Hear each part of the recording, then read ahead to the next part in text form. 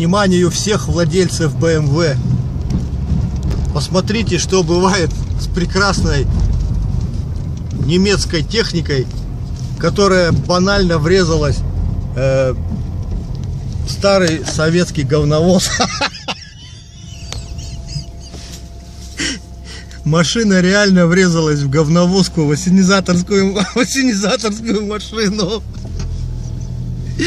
Э, чувак купил себе бумер. блин.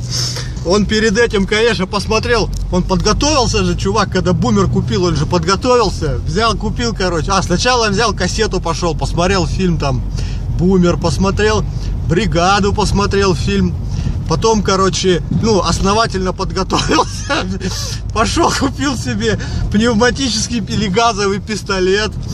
Ну, все, он все готов к покупке BMW. Он такой покупает, короче, себе BMW такую с трехлитровым движком и тупо обрезается на ней в говновозку.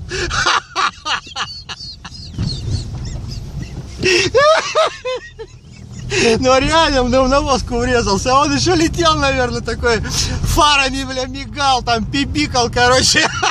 Уступите дорогу. При всем при этом в говновозке ни одной детали не отвалилось. Я вообще балдею. Вот, вот так вот. И танки не прошли, и БМВ не, пройдет. Всем удачи и хороших дорог в нашем прекрасном городе.